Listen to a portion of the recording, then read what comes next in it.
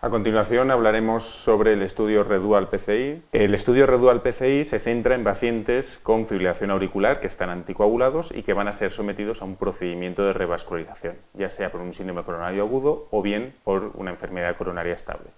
Sabemos que aproximadamente entre el 20 y el 30% de los pacientes con fibrilación auricular a lo largo de su historia van a tener un procedimiento de revascularización coronaria y esto supone que aproximadamente son 2 millones de europeos los que se van a encontrar en un escenario que el paciente está anticoagulado y tenemos que antiagregar. Esto para el clínico es un escenario gris y se calcula que entre lo que son variables clínicas, variables hemodinámicas, bioquímicas, opciones de tratamiento, tipos de anticoagulante, función renal, etcétera, etcétera, contamos con más de 2 millones de posibles combinaciones. De hecho, existen páginas web, como podéis ver aquí, de Triple Therapy, que es de la Sociedad Canadiense de, Cardiología, que nos ayuda al clínico a decidir el tratamiento que tenemos que pautar o la mejor opción en estos escenarios.